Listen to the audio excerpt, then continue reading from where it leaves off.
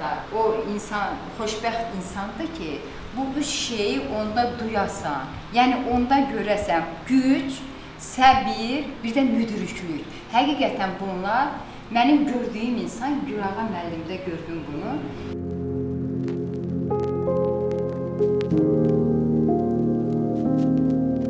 Mən inana bilmirdim ki, həyatda belə insanlara yaxşı bir insan, necə deyirlər, canı yaman, inanmazdım ki, xaricdə yaşayasan, amma öz torpağına, öz vətəninə bağlı olasan.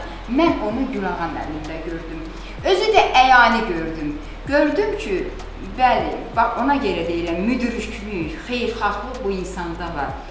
Axırıncı çərşənbə e, demək mart ayının 18-i idi. Bizim şagirdlərlə görüşdü. Bir nəfər şagird gəldi, durdu yanında qız. Onunla belə görüşəndə Gülağa müəllim e, əlin çəkdi qızın başına sığalladı və gördüm ki, həqiqətən Gülağa müəllimin gözündən yaş